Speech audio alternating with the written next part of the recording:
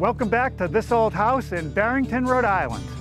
Today we'll install a retractable awning that can sense the wind. So if there are wind gusts comes by that will damage it, it will retract it back in. That's a nice feature to have. We'll see how blacksmiths are making our light fixtures one by one. In this area, we have 10 people. Typically, on a good day, we'll put out a 1,000 products. Wow. And we'll show you a new way to seal soapstone countertops. That's coming up next on This Old House.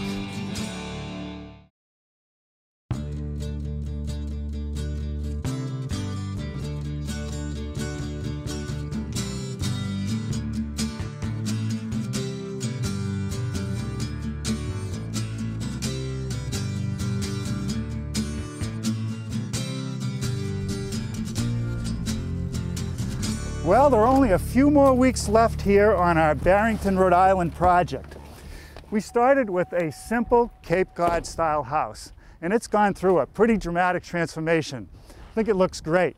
Now, one of the features that the house had was an awning. The fabric was gone, it was a pipe frame that was all rusted. So today, we're replacing it with a modern awning.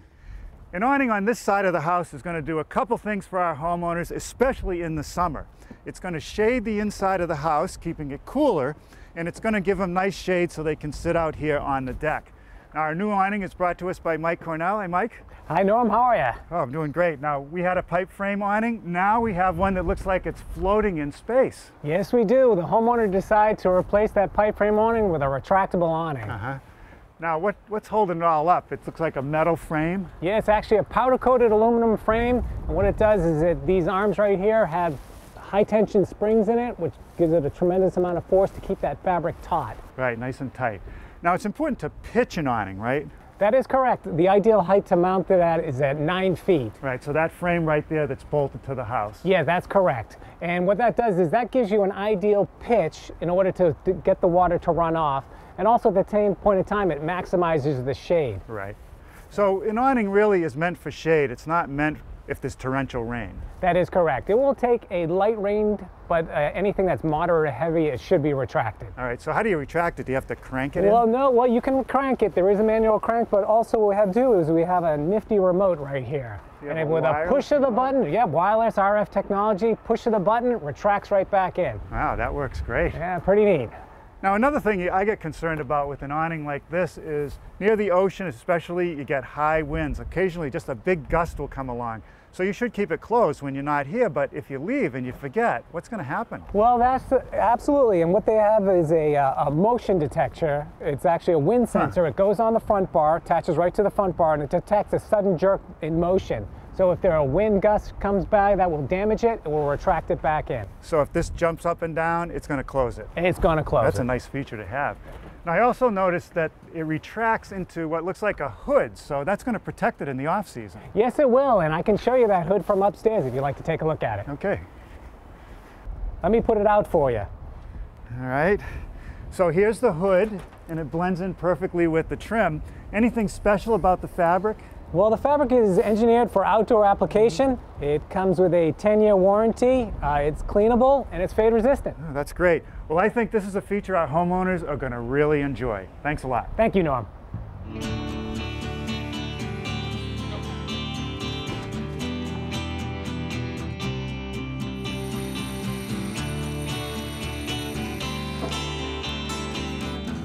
Our kitchen countertops have arrived, and they come to us compliments of Alyssa St. Gelais. Alyssa, good to see you. Hi, nice to see you too, Kevin. So what are we putting down here for material? The material we're putting down is Saratoga soapstone. The color is Stillwater Gray, and it comes from Brazil. Wow, all the way from Brazil. Okay.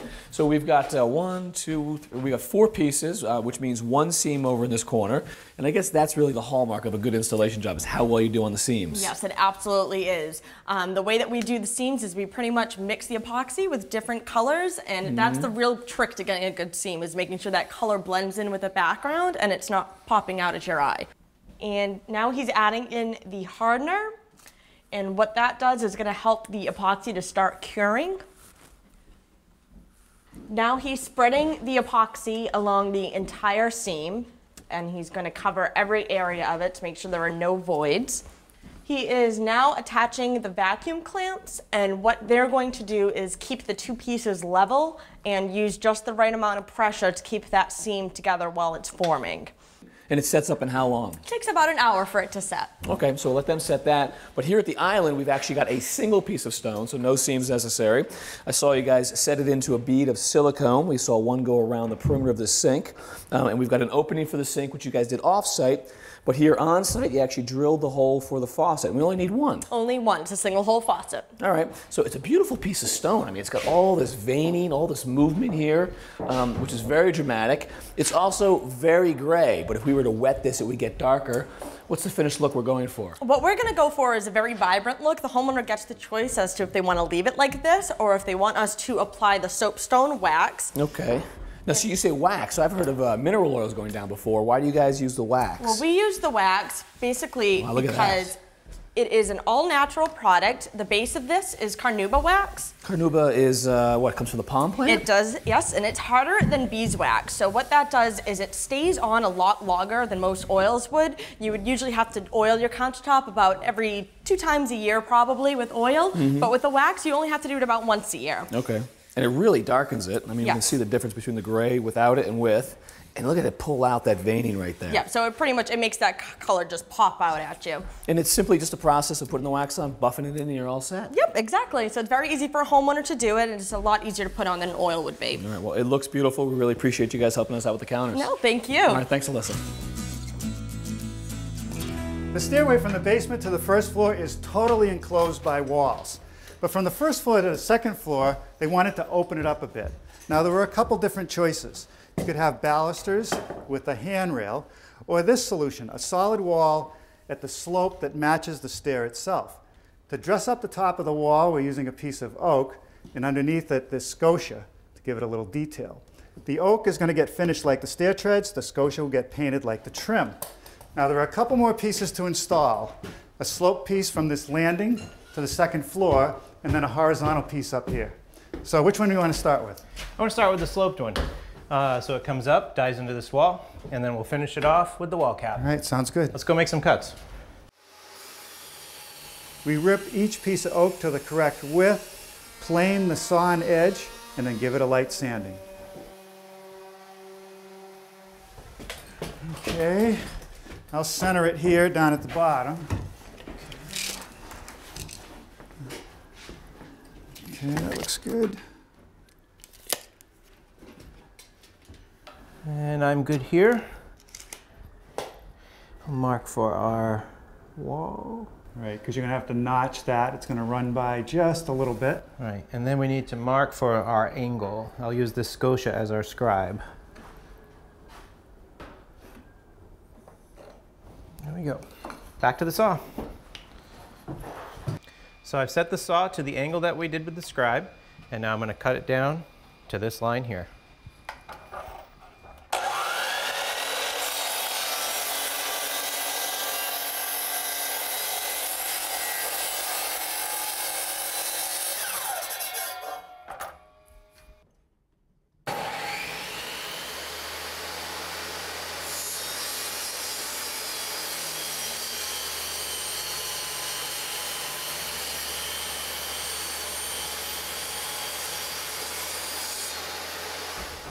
Finish it off with the coping saw. Now we round over all the sharp edges with a light sanding. All right, a little bit of construction adhesive, make sure it doesn't go anywhere.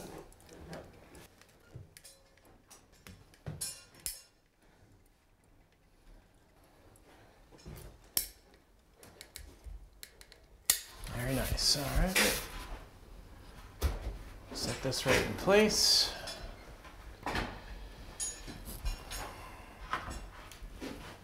Okay. All right, Andy, before you nail it, I'm going to take a piece of scotia and make sure we got it set in the right place so we're going to have a nice tight fit. And that looks pretty good right there. Why don't you tack it?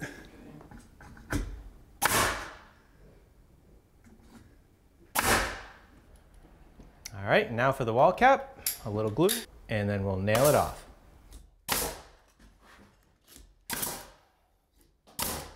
We apply a bead of glue at the top edge of the scotia and at the corners and secure it with some brads.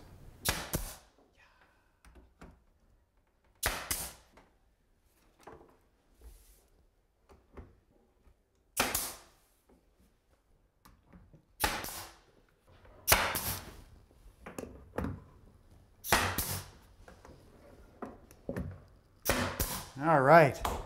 Another piece of the finish work completed. We're getting there. We sure are. While work continues here in Rhode Island, there's another team of craftsmen up in Vermont who are making all the light fixtures for our house. Recently, Kevin checked out that story. Ever since the beginning of our project, we have worked with lighting designer Evelyn Audette. And Evelyn works with a lighting manufacturer that she thinks is perfect for our homeowners. Now, Evelyn, you have worked with this manufacturer for years, and now you brought me up to Vermont to see their work. You obviously love their fixtures. I do love their fixtures. They're taking metal and they're creating beautiful pieces of art that are light fixtures. Oh, they really are beautiful, aren't they? They are. And today we have Dave Carr, who's an engineer, and he's going to show us the process of how the fixtures are made. Hey, Dave. Hello. So, what is your guys' process? Well, we have the uh, challenge and the fun of taking a two-dimensional artistic concept and using a series of tools that are relatively easy to manipulate. We imagine how we might create the piece of steel, steel that you have in your hands. Look at that. So that's a piece of foam, and you've got some paper down here as well. A lot easier to bend foam and paper than it is to bend steel, That's right. We can mock up uh, a series of iterations that ultimately meet the designer's vision. So this finished lamp right here, is this something that's going into our house, something that we're going to make today? Actually, we're going to make something that I think is even better. This is the fixture that's going in the dining room in our house. It's really great because we can get a box shade anywhere, but what makes this unique is the bundle of twigs that's put onto this fixture. Kevin, we're making this now. Why don't we go out and see it happen? Oh, I'd love to. Kevin, we're in the forge now. This is where we heat the steel to capture that design intent. Each one of these ovens is called a forge? Correct. We have seven of them here. They're running at about 2,000 degrees. In this area, we have 10 people making about 100 designs a day. Typically, on a good day, we'll put out a 1,000 products. Wow. So how are we getting started here, Dave? To make the twigs for your fixture, we start out with a 20-foot rod of half-inch steel. We cut it to length, and then we introduce it to the forge at 2,000 degrees. And then once it comes out, what's this machine here? It's called a trip hammer. It's probably 150 years old, not unlike many of the tools here. And we do a random pattern of what we call munching on that bar to create the design piece. It's literally just slamming down onto that steel, deforming it. Tons of pressure, many, many, many hits. At the end of the munching process, the, the hammering has deformed the steel so it won't fit into the next tool. So we have to hand straighten it with a hammer and by eye so that it's ready to go for the downstream operation. To make the signature bend on this twig, we place it in this press. Is it still hot at this point? Oh, it's cold. You can handle it barehanded. At this point, the forge process is complete. Wow, it has already come a long way. I mean, it is no longer that perfectly smooth piece of steel. It's organic. I mean, it's textured. It really is starting to look like a twig. After the forging process, we need to remove the slag, and we do that with these ball bearings that we throw at the part at incredible speeds. So you're effectively sandblasting the steel now? Right, 30 seconds worth. And so we've got a giant sandblasting chamber? Correct. Has two chambers, one that we can load and unload while the other's doing the work around the back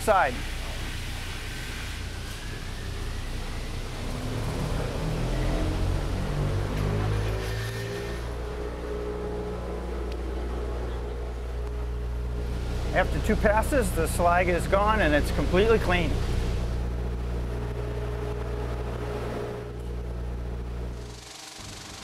Next, we put the twigs in a vibrator or tumbler filled with ceramic abrasive media. Think of it as stones. That will give the surface a frosted appearance, a patina. Now we begin assembly in the weld area. For the twigs, we use a series of three tools or jigs to hold the parts in position so we can weld them. So what kind of welding is this? This is TIG welding, tungsten inert gas. In this process, we use an electrode that strikes an arc, creates a liquid pool of steel on the part, into which we put filler rod for a strong weld. So Ed takes two twigs, welds them into a pair, takes three of those pair, and welds them into a final product. So after weld, we need to wash the product. So we have two things to accomplish. One is we have to eliminate the weld bluing that you see here. Those are signs of actually a good weld. And the second is to prepare the product for painting. It has to be super clean. In this instance, you'll see that after wash, the weld bluing is eliminated. This is ready to go. We can paint it. And so where are we now? So we're in the powder coat room where we spray a negatively charged paint cloud to a grounded steel part, in this case our twigs. The two are attracted to one another and the paint sticks. So then we send it through a convection oven where for 20 minutes we cure it at 380 degrees. The paint particles are cross-linked, creating a very durable finish that's translucent, allows us to see both the texture and the color through the paint. Kevin, this is where it all comes together. All right. We have our twigs that we followed through the process, Yep. and we are marrying them up with the components that have been finished uh, identically. All the processes are the same for them. So everything's finished right here on site, sort of to keep that look consistent. That's right. All right. Now we add the electrical components, uh, double socket here, grounding, All right. So four light bulbs are going to go into that one. then we check for continuity and high voltage for safety, Right. and then we begin the pack process. We're going to ship this in a couple packages for safety, Sure. but let's look at the finished product. Oh, you assembled one for us. So nice of you. Look at that beauty. What do you think, Evelyn? I love it. I think that they've thought of everything with putting the diffuser on the bottom of the fixture, which shields the lamp from your view when you're sitting at a dining room table. You're not going to be looking at the exposed Right. light bulbs. And it just shows the great assembly of twigs that they've put together for us and finished so beautifully. Looks to me like you made the right choice, and thanks for bringing us to Vermont to show us the whole operation. Dave, it's a beautiful piece of craftsmanship. Thank you. You're welcome.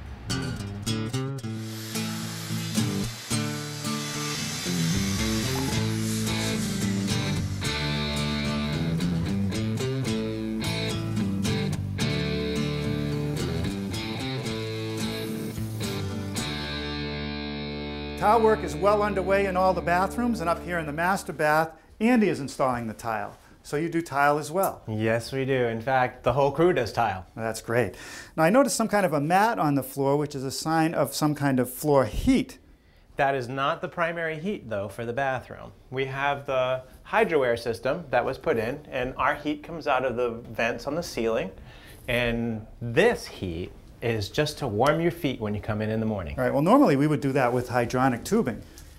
Right, and that is ideally the case. But this was a late decision by Jeff and Michelle, so we're using an electric mat. And the electric mat has a coil that runs through it, uh, coated, just, just the wire, yeah. and this heats up underneath the tile and then heats the tile. Oh, that mat is very sticky. It is, and what that allows us to do is stick it down to the subfloor so it doesn't move around when we spread our thin All set. right. Well, obviously you can't cut the wire, but you can cut the mat, and that allows you to turn it and run it back and forth throughout the room. Right, and that's why it has to be very specific to the room, the size of our mm-hmm. mat. In this case, we had to order a 45 square foot mat so that it would cover the floor so everything would be warm. Right. Well, you're not driving any nails in this floor, but I would certainly be concerned of nicking this wire and not finding out about it until later. That would be a disaster. I hate to rip up the floor after the fact, and that's why we have this device here. It tells us if something should happen to the wire. And when that goes off, we know that there's a problem. So then we can repair the wire according to the manufacturer's All right. recommendation. Great idea. It's like the pressure gauge on a hydronic system. Yes. So how do you control the heat in the floor? Well, we have a thermostat which controls the uh, temperature of the floor and the air. So it makes it nice and consistent along with our heat that heats the house. So it balances it all out. Absolutely. Now, I'm not used to seeing 12 by 12 tiles in a bathroom. Usually it's mosaic. So is there anything tricky about the layout? Symmetry is everything. And especially when you have a condition where you have a vertical wall at this tub deck, you want to make sure that it looks nice with the floor so that we have an equal piece there and an equal piece over there. That's very important because these vertical surfaces really do stick out. They do, especially when you're sitting here in the morning and looking at it. You want it to look nice. All right. Now you're using what looks like a thin set and you're totally embedding the wire in the thin set. Yes, we're using a good quality uh, latex modified thin set so that it will move with the expansion and contraction of the warm floor. Mhm, That's very important. So you ready to set a few tiles? Yep.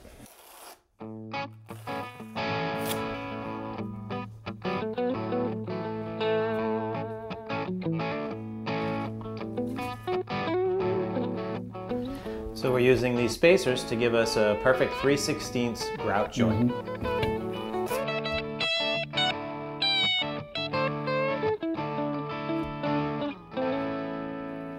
Well, Andy, I know you're a busy guy, so I'm going to let you get back to it. Sounds good. Thanks, Norm. The east side of our house is really just this narrow alley, about 20 feet from the neighbor's house. But Richard, it's a great place to hide your equipment. It absolutely is. This week we got to install our heat pump air conditioners, one for the first floor, one for the second floor. So these are heat pumps. They are. They work like normal air conditioners in the summer, taking heat from inside the building. But in the spring and the fall, we can actually find heat out here and send it in to be used. Great, two for one. But you know, it seems that they get bigger and bigger every year. Well, as manufacturers race towards higher and higher efficiency, the net result is that the equipment gets bigger and bigger and bigger. And these are very efficient units. Okay. So they're going to be big. Let me show you something upstairs. Another thing that makes this house efficient is its insulation. It is tight. Spray foam insulation, you got great windows. And a lot of people don't think about how to get fresh air into a building this tight. Right. Now, up in this attic, in this crawl space, we've got an energy recovery ventilator tucked away. I'm not going to take you up there. Thank you. This is what the unit looks like up there. It's brutally simple inside. It has two fans. It'll push air across this core. Now, we live by a couple of rules. One is heat goes to cold, Right. and the other is high pressure goes to low or high humidity goes to low. Okay. So the heart of the system is a core right here. This is a sample of it. Now you can see there are corrugated layers, and actually the corrugations go in opposing directions each layer. Mm-hmm. So it allows air to pass this way, the next layer to go this way without touching. So the air is in close proximity, but it never touches. That's right. It'll allow actually the heat to be transferred to the next layer and also the humidity. All right, so how is this working in, say, the winter time? Perfect. You've got, in the winter, you've got bathrooms and kitchens and you've got smells that come from the kitchen range hood. And that's going to come into this port right here. Okay. The fan will come on and this air is warm. It's going to cross the core. At the same time, you've got air right here from outside. What's that going to be? That's going to be cold and dry. Absolutely. So here is this cold air coming here. Heat goes to cold. So now that means that the heated air that you already paid for to heat, 70% of it will stay in the building, but you'll still exhaust that bad air to outside. So we get efficiency. And you'll get to keep some of the humidity inside the building. And then does it work the opposite way in the summertime? In air conditioning, it's absolutely the same because now you don't want to bring all that humid air from outside and hot Right. and have to condition that. All right, well, when it comes to efficiency, Richard, we're glad you are on the case. Thank you, sir. Okay, so until next time, I'm Kevin O'Connor. I'm Rich Trethewey. For this old house. Coming up next time, Welcome back to This Old House in Barrington, Rhode Island. Well, today it's all about tile at our project house. Now, we've used glass tile in the past, and it's a little bit tricky to install because you can see through it. And that's what Andy's working on today. and we're getting a gas stove today. Mark, what are we putting in? Well, Kevin, this is a direct vent gas stove. Oh yeah, look at that flame. There you go. And we'll install a new railing system that preserves our views of Narragansett Bay. That's next time, right here on This Old House.